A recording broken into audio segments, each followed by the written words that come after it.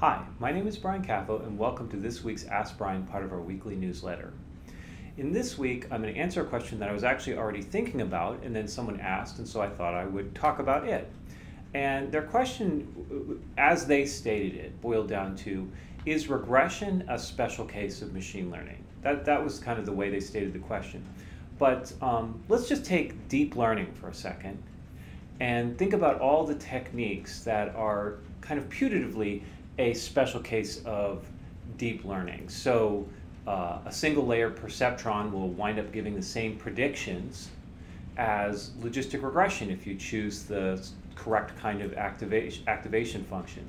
Uh, linear regression could be seen as another single layer per perceptron with a specific uh, identity activation function, and so on. Multinomial regression could also be considered. So many of these statistical techniques could be considered special cases of deep learning. So in, in one sense, if you think about that, in, in some sense, you can think of as machine learning as really mostly containing a lot of the, you know, regression, regression-y techniques right?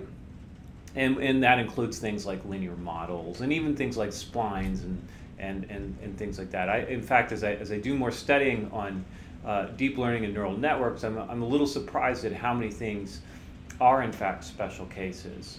But before I, before I you know, kind of endorse this way of thinking entirely, let, let me maybe offer a contrary opinion. Um, when you think about it in terms of this this way of thinking, you're thinking, can I take a machine learning algorithm, uh, put in some data, and obtain the same coefficients and predictions that you wind up with with regression? And the answer to that is yes, you can. These that, and, and, and in that sense, this equation is, is clearly correct. But and in that sense, you could say, okay, well, machine learning is containing huge subsets of the field of statistics, but that, that statement would be incorrect. And the reason is because in addition to just producing predictions, what statisticians tend to like to think about is how sampling assumptions and how a generative model uh, connects to a population. So, and that's typically missing in machine learning discussions unless someone's talking about theoretical machine learning where they start making sampling assumptions to prove asymptotic theory about machine learning algorithms, but that's usually done by people who are effectively statisticians.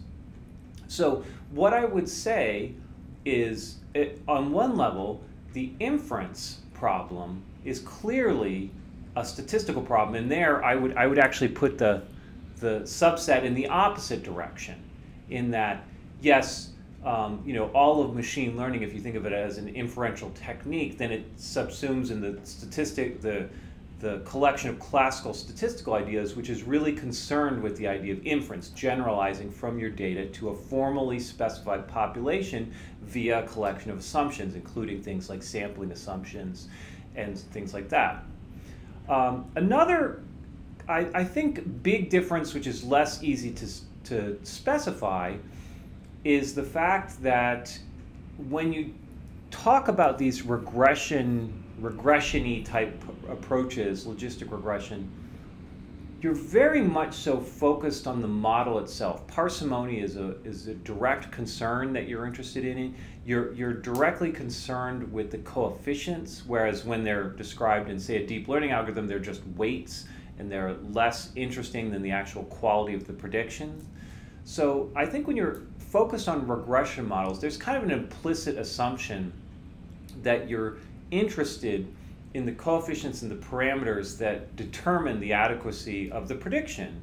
And so as an example, you know, you might have data that looks like like this, right? And you might fit a linear regression.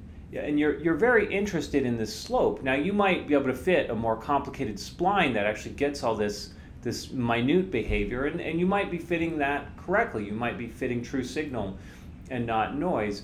But but there's there's something about summarizing this with a slope and just saying, yeah, kind of in aggregate, things go up about this much for every unit change in x is inherently useful. And that kind of parsimony and thinking, uh, a reductionism of the problem is often very useful. And I would say that is a hallmark of regression style approaches that, that really doesn't carry over to most other machine learning approaches. So I, I would just say it's, it's not as much at the forefront of your thinking when you really tend to think about problems in a machine learning sense.